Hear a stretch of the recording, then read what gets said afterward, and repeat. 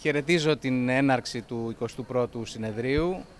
Νομίζω μετά από όλο αυτό το πράγμα που περάσαμε τον τελευταίο 1,5 χρόνο είναι η ευκαιρία να, να συντάξουμε τις δυνάμεις μας για να προχωρήσουμε μπροστά και να δούμε το μέλλον, αυτό που έρχεται. Αυτό είναι το ζητούμενο.